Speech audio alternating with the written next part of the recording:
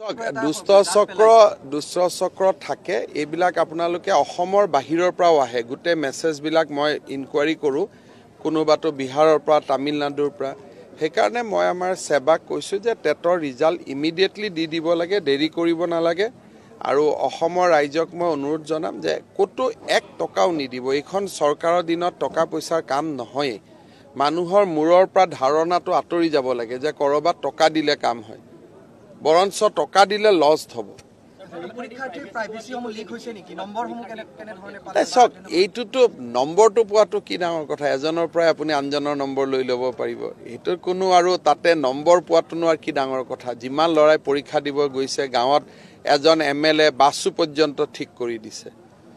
গতিকে কোনে টেট পৰীক্ষা দিছে সেইটো আৰু লুকাই থ'বলগীয়া কথা নহয় নহয়। আমিতো অলপমান মোকে আপুনি সুধিলে গধূলিৰ ভিতৰত মই এক হেজাৰ নম্বৰ দি দিব পাৰিম যে আমাৰ সমষ্টিত ক'লেই হ'ল কোনে কোনে পৰীক্ষা দিছে লিষ্টখন দেচোন।